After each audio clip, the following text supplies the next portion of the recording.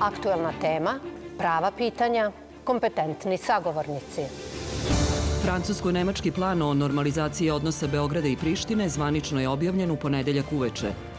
Možemo li se pomeriti sa mesta ako je prvi korak na mapi puta formiranje zajednice srpskih opština i da li je slučajno što delegacija Albanaca iz Bujanovca, Medveđa i Preševa u Vašingtonu lobira za uspostavljanje zajednice albanskih opština na jugu Srbije?